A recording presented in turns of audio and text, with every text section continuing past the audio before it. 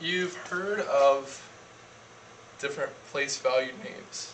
You know the ones, which we normally show with a ones cube.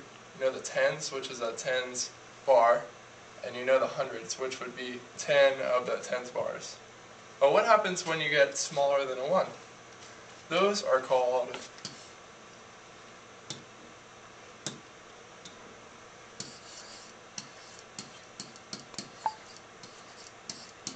decimals.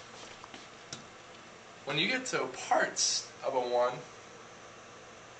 we need to think smaller. So in order for us to go smaller than our 1, I need to magnify it for you.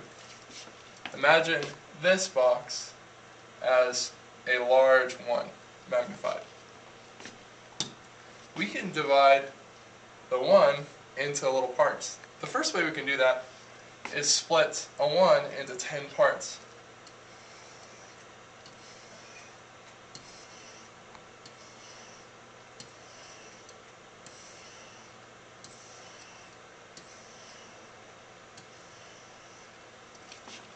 Each of these bars stands for one out of 10 parts of just a 1. If I fill in one of them, I could read this as 1 tenth of a 1. I filled in 2, I would have 2 tenths. And if I would go on to fill in all the box and all the bars, I could be the same as saying that I have 10 out of 10 tenths, or 1, one whole. You can think of each of these tenths as a part, and the way that we'd write that or show that is like this. We'd have our normal 1, and anything that is a part of a 1, we put in the place right after a decimal point. This is called the tenths place.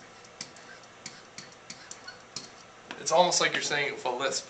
Tenth, tenth, because you have a funny ending. So it's like tens, but it's with a th. Tenth. So you can tell your friends all about tenths. Okay? So if we had two tenths, I would show that by writing a 2 in the tenths place.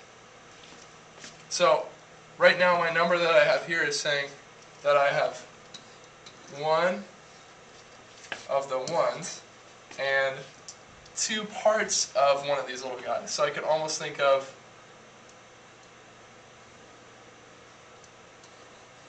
about that much of the one.